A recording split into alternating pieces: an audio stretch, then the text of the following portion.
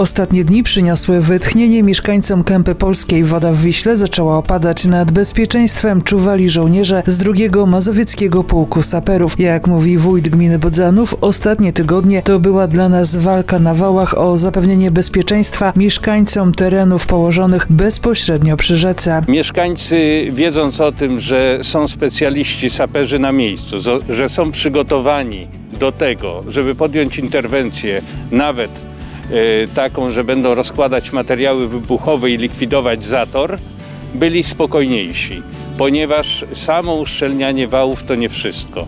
W każdej chwili mogło dojść do e, innej, zupełnie e, bardziej niebezpiecznej sytuacji, gdyby ten zator został i gdyby on się cały czas powiększał. Dzięki siłom natury, dzięki wprowadzonym lodołamaczom na Zalew Włocławski udało się uniknąć najgorszego. Ale ta pewność, że mamy za plecami fachowców, specjalistów, którzy zresztą w tym czasie również trenowali na sucho e, naloty, Yy, przy okazji się wyszkolili, mam nadzieję, a jednocześnie no, nabrali takiej wprawy, że jeżeli przyjdzie cokolwiek, oby tak nie było oczywiście, ale w kolejnym roku, czy nawet jeszcze w tym roku, to będą już wyszkoleni, gotowi, żeby nas w każdej chwili wspomóc. Wojsko zakończyło swoją służbę na terenie gminy Bodzanów. Wójt Jerzy Staniszewski podziękował żołnierzom za ich pracę i pomoc w kryzysowej sytuacji. Na szczęście w Kępie Polskiej byliśmy tylko profilaktycznie, ale mimo wszystko to był ważny dla nas czas, mówi porucznik Aleksandra Śliwa. Życie ludzkie nie ma ceny i ja bym też tutaj w imieniu drugiego pułku saperów chciałabym bardzo podziękować za powierzone nam zaufanie, że mogliśmy tutaj być, że mogliśmy wspomóc Was, że mogliśmy, że, że jesteśmy, że Wy wie, wiecie o tym i wierzycie, że my możemy Was wspierać.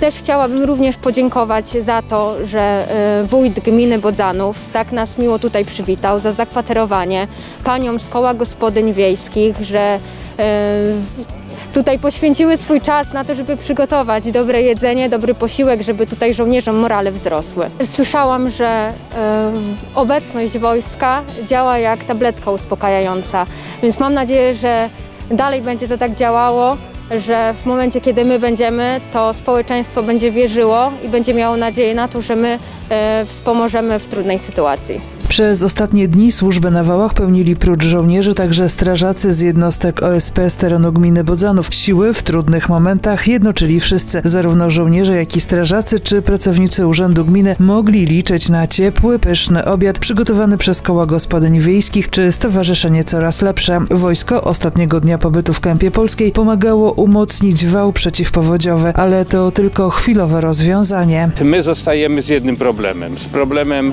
uszkodzonego wału tutaj właśnie w tym miejscu, w którym się w tej chwili znajdujemy na długości 150 metrów.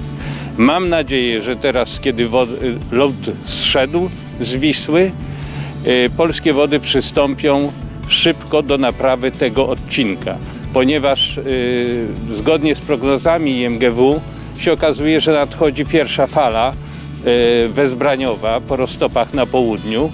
Szczęśliwie, że nie ma opadów na południu, że ta fala szybko przejdzie i nie zagrozi temu uszkodzonemu wałowi.